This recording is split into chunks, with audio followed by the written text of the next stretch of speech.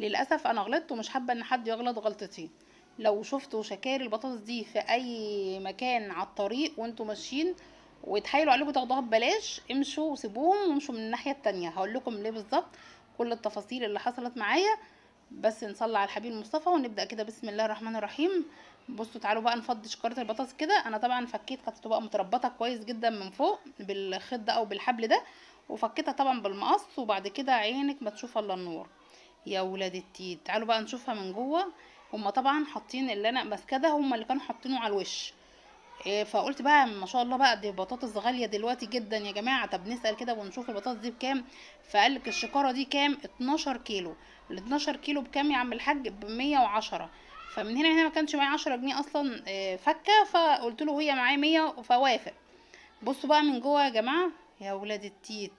بصوا البطاطس عاملة إزاي؟ يا نهار أبيض عليا ده وبالذات بقى ما تيجي تفتحها بالسكينة. أنا قلت يمكن مثلا الحتت دي آه، يعني بايظة ناشفة مش عارفة إيه لكن معظمها مثلا هيبقى كويس.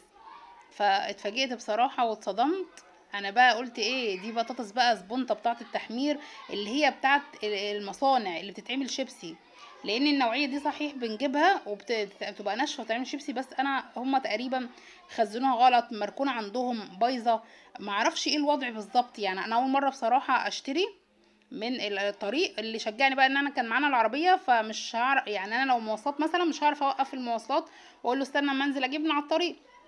إنما معايا العربية فشجعتني إن أنا أجيب واحدة. لأ وقلت إيه عملت نفس نصحى قلت ده أنا هخلي بقى نص إيه نص عاقل واجيب واحدة بس. أنا كنت عايزة أجيب أكتر من واحدة. اما لقيت كده إيه الشكاره ب 100 جنيه شكاره 12 كيلو. هنقول حتى 10 كيلو. ب 10 جنيه يعني الكيلو واقف على 10 جنيه في البطاطس في حين إن البطاطس دلوقتي ب 25 جنيه وفي بعض الأماكن ب 30 جنيه فدي كانت فرصة لا تعوض. فأنا بقى لأ ده أنا عملت نفس إيه يعني مش ناصحة. أنا قلت إيه خلي نص العمى والعمى كله. يعني حتى لو فيها حاجة بايظة من جوه ما بقاش شلت الليلة كلها بصراحة. مع إني سألته قلت له هي من جواها فيها حاجة بايظة فيها مش قال لا لا يا أبلة ده إحنا كده إحنا بنقف هنا على طول. فأنا أصلا المكان اللي عديت منه ده ما بعديش منه على طول. ده إحنا كنا رايحين مشوار آه بعيد بس في نفس المحافظة يعني في الشرقية. أكيد طبعا بعض المحافظات التانية أو معظم المحافظات هيبقى فيها نفس النظام ده يعني. قولوا لي برضو في التعريف بتشوفوها ولا إيه؟ كان معاه شكاير بطاطا اللي هي البطاطا البيضة الشكارة نفس ال ال ال الكمية دي أو نفس الكيلوات دي. يعني اللي هي الشكارة دي بكام؟ بسبعين جنيه شكارة البطاطا. إنما البطاطس قل بمية جنيه. هو كان بيقول مية وعشرة قولي بمية جنيه يعني. تمام؟ فطبعا فرصة لا تعوض وكله بقى على الطريق وانت شايفة المنظر أصلا الشكاير محطوطة كده شكلها حلوة ومش باينة من بره إن هي جواها حاجة بايظة ولا لأ انت هي من بره هي شكلها بطاطس.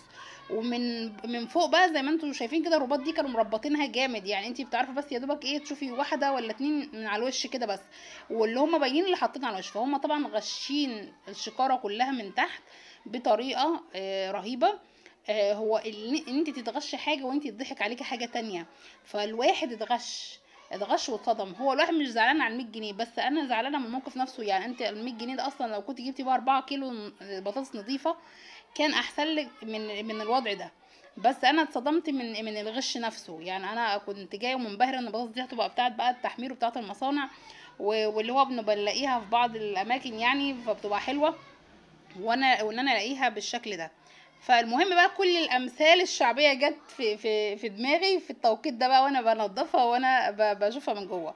كل الأمثال. بصوا أول مثل جه في بالي يا مسترخص يا مستوكس. دي كده مثل إيه شعبي عندنا في مصر بنقوله. يا مسترخص يا مستوكس. يعني إيه؟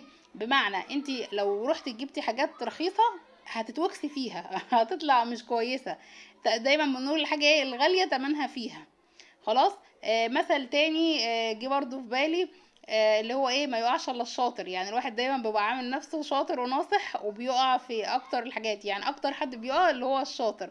بس زي ما بقول لكم إحنا اتغشينا. يعني هو مش باين من بره أي حاجة والحاجة اللي على الوش حاططها كويسة لكن الحاجة مش محطوطة قدامي وأنا رحت مثلا نقيت الوحش أو مش معروضة وأنا اللي معرفتش أختار.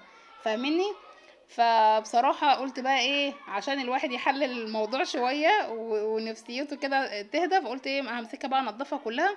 قال أنا بدأت أسردها قلت طب إيه هشيل مثلا البايظ منها هشيل مثلا إيه الحلو على جنب. فاصلا الحلو اللي أنا شايلاهم على جنب دول برضو ما جيت أقشر فيهم لقيت فيهم حاجات سمرة ولو سبتها أكتر من كده وخصوصا إحنا يعني إحنا مش في حر قوي إحنا يعتبر داخلين على الخريف أهو.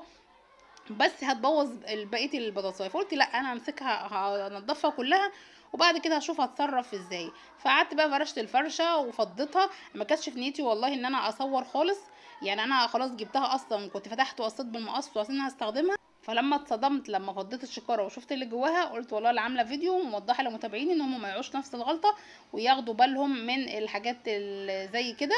بصوا بعد ما نضفت طبعا آه، يعني هم دول شوية الحاجات اللطيفه اللي طلعت ولسه مقطعها كمان من جوه. لو لقيت فيها حاجة طبعا هخرجها خالص بحاول أتخلص تماما من أي حاجة مش كويسة حواليها. والكم اللي طلع أكبر بكتير من اللي اتقشر. قولوا لي بقى أعمل باللي طلع ده إيه؟ عشان هو مش هينفع على الآلية